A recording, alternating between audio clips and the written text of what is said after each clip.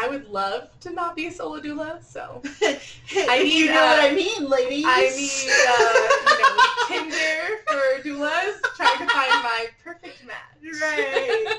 I like long walks down the hallways of hospitals.